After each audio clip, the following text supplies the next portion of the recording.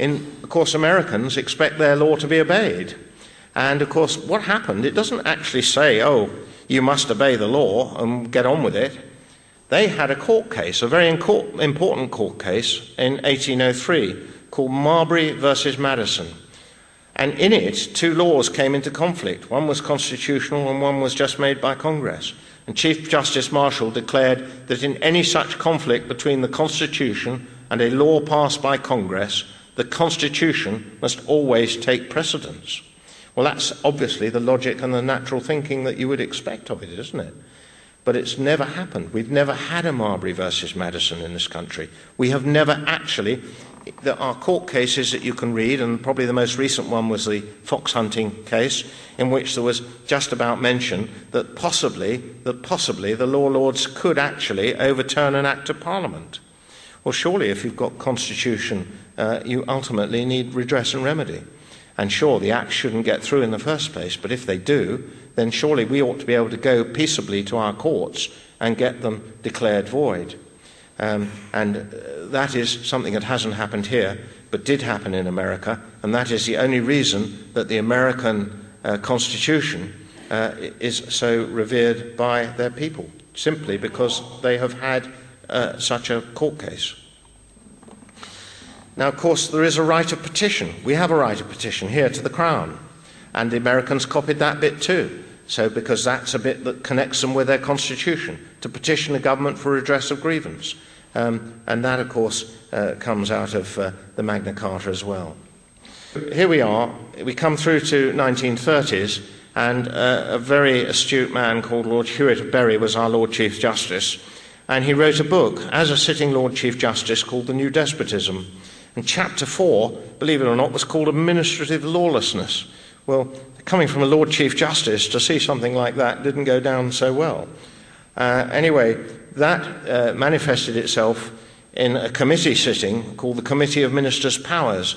Um, that had upset the balance of things, and so they thought, well, we better, better see what he's complaining about. And indeed they did, and this report, the Minister's Powers report, is important um, because it decided um, what were the rightful powers of ministers. As up to that time, what had been going on is that they'd started, after the, particularly after the First World War, putting clauses into Acts of Parliament saying, You're the minister of a department minister, and therefore you may have uh, transport under your command or whatever it is uh, agriculture, fisheries, food, whatever, all those things. Um, but you can make the rules and regulations for your department. And the rules, this is an enabling act giving you authority to make the rules, and you can sit at the tribunal as in the final arbiter of it. And so, of course, this was all, of course, subordinate to the true rule of law. This was creating an administrative system. And uh, Hewart said, well, actually, what you're doing is licensing lots of despots um, in the form of the ministers themselves and their systems. And there was a very good bit of text in the beginning of this uh, report. It's a very good report, and I'll just read it to you because it's a most remarkable bit of wording. The most distinctive indication of the change of outlook of the government of this country in recent years has been its growing preoccupation, irrespective of party, with the management of the life of the people. A study of the statute book will show how profoundly the conception of the public function of government has altered. Parliament finds itself increasingly engaged in legislation which has for its conscious aim the regulation of the day to day affairs of the community and now intervenes in matters formerly thought to be entirely outside its scope. This new orientation has its dangers as well as its merits. Between liberty and government, there is an age long conflict. It is of vital importance that the new policy and there you have it, ladies and gentlemen. All this was was a change of policy, right? While truly promoting liberty by securing better conditions of life for the people of this country, should not, in its zeal for interference, deprive them of their initiative and independence, which are the nation's most valuable assets. Well, that was a passage from another report by Lord Macmillan, and I think you'll agree that there's a great deal of that that echoes today and that was back in uh, 1929 1930. What happened is that the Minister of Power's report came in 1932 and it criticised uh, the way things were going and said that, look, if ministers are going to run departments, instead of them just making lots of rules and regulations, all these rules and regulations ought to be numbered and properly written down and to some extent approved by Parliament, if not in a whole statutory format.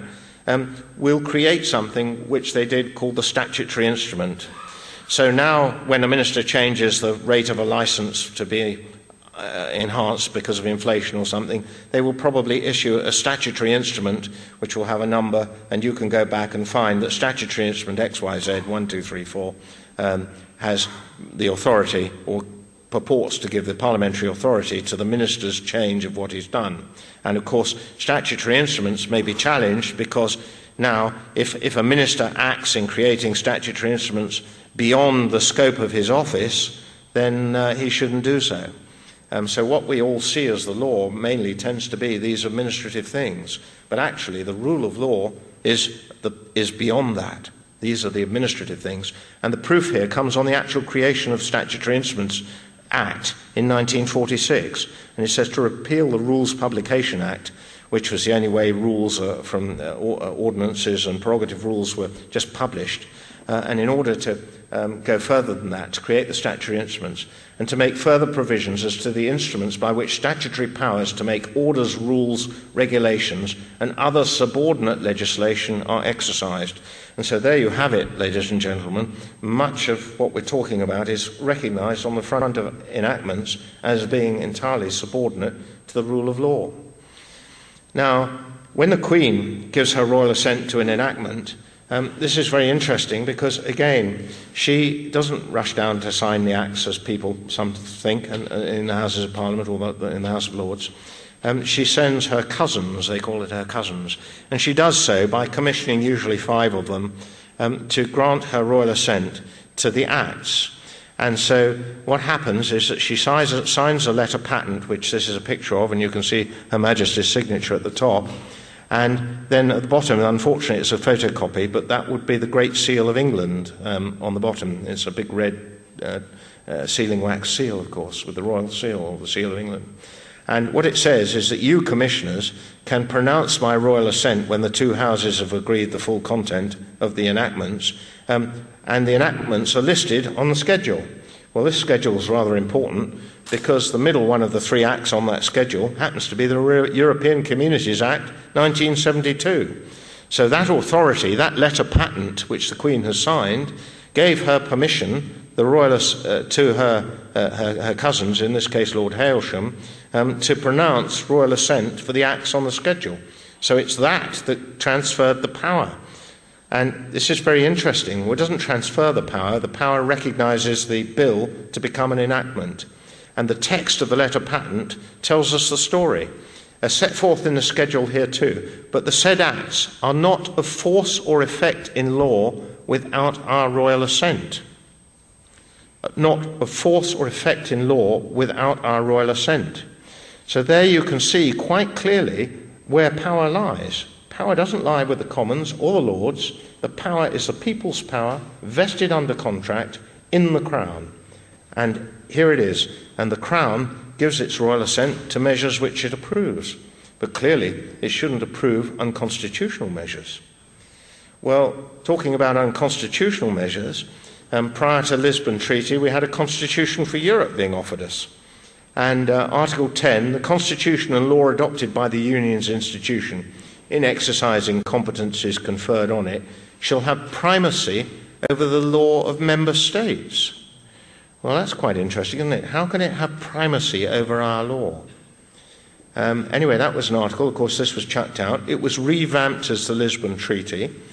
And uh, the Lisbon Treaty, of course, has got it in there that the competences, the areas over which they can uh, have jurisdiction, if you look in the small print, you'll find they can define them, they can alter them.